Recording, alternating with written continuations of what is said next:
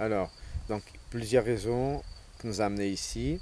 Euh, la première, c'est une région que les gens, ils ont cette culture de vin, et cette envie de faire mieux et de faire euh, euh, de vin dans des standards mondiaux Ну, перший, перша причина, що яка нас привела сюди, От тому ми тому, що ми побачили, що це регіон, який має вже давню культуру виноробства, і на сьогоднішній день він розвивається. Ми бачимо у виробників бажання е, покращувати своє виробництво, от і досягти світових стандартів.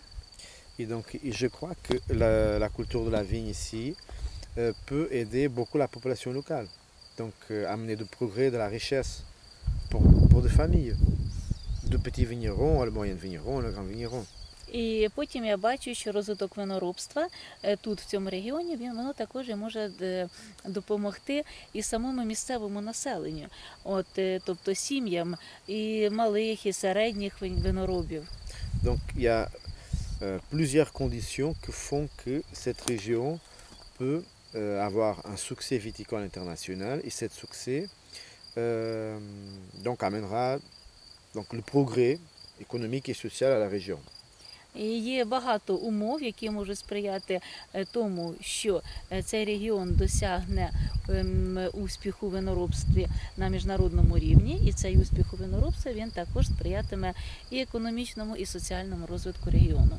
Donc c'est avec mon euh, minuscule apport, je pourrais participer à cette euh, réussite, je serais ravi. І якщо я от, можу якимось чином, хоч мінімально сприяти розвитку регіону, я буду радий.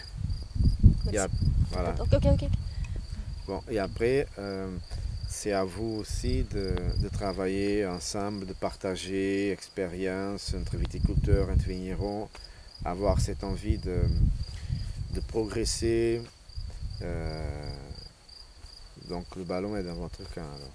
Да, ну а потім, е, звичайно, е, як кажуть у футболі, м'яч знаходиться на вашому полі. Далі це ви повинні працювати, об'єднуватися, от е, і сприяти тому, щоб ваш регіон розвивався.